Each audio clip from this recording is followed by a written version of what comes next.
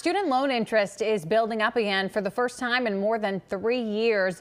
The freeze on interest ended on Friday, and come October, payments will restart too. Joining us now is Betsy Mayotte, president of the Institute of Student Loan Advisors. Betsy, thank you so much for joining us this morning.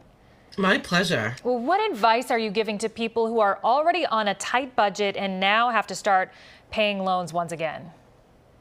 Well, thankfully, federal student loans have a bunch of lower payment options, uh, many of them based on their income. In fact, the Biden administration has recently revealed a new plan called SAVE that can make people's payments even lower than they might have been on the existing income driven plans.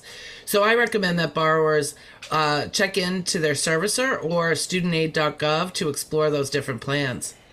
Betsy, what is the first thing that people should be thinking about as this process reboots? Well, the first thing is make sure you know where your loans are. Uh, the other thing that happened over the last three and a half years is somewhat, somewhere around 17 million accounts changed servicers.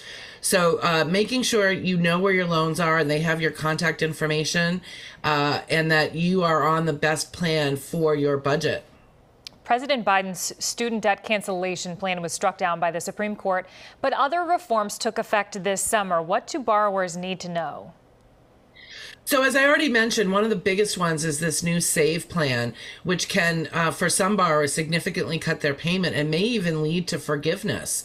Uh, one of the biggest benefits of this plan is if your payment is lower than the interest you're accruing, the government's going to forgive that interest. So you don't have to worry about your payment, your your balance going up while you're making payments. And what about for future borrowers? What is the best advice as students and parents begin this process?